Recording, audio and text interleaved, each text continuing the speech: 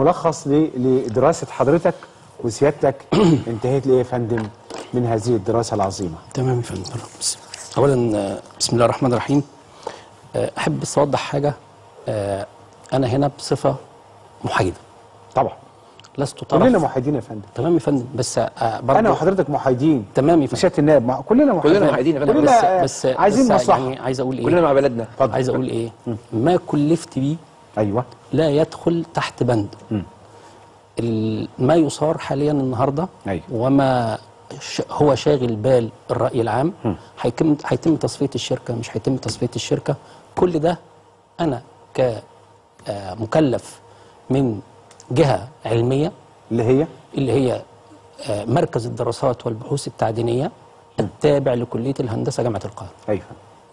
هذا المركز آه، مختص بالتعامل وتقديم الاستشارات للصناعة المصرية في كافة قطاعاتها كويس.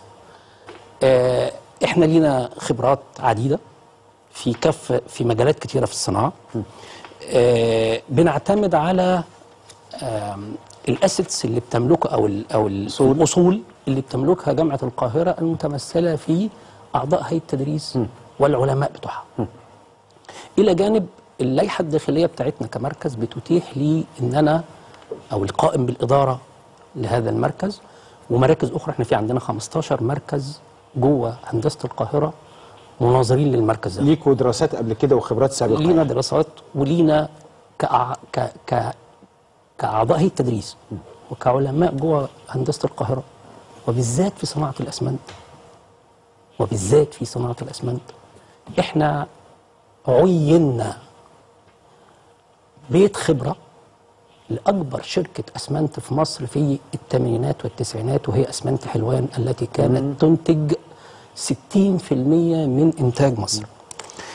آه،. يمكن الأمر يستدعي يا فندم. إن أعرض على سيادتك. اتفضل عقد حضرتك ممكن تقرأ كده بس ال ال أطراف هذا العقد وتاريخه.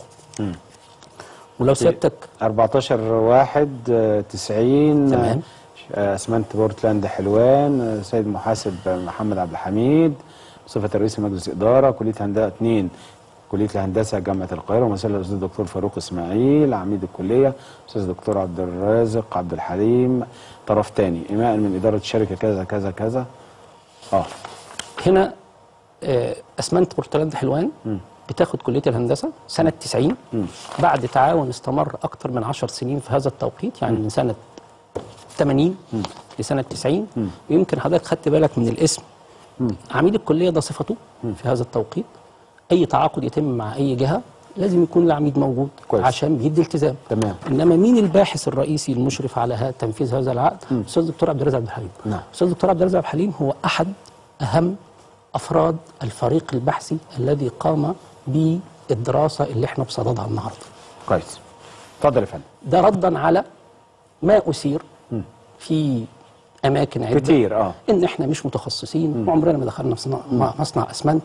أنا بصفة شخصية كنت في هذا التوقيت مجرد معيد اشتغلت في أسمنت حلوان أربع سنين في إطار هذا التعاقد.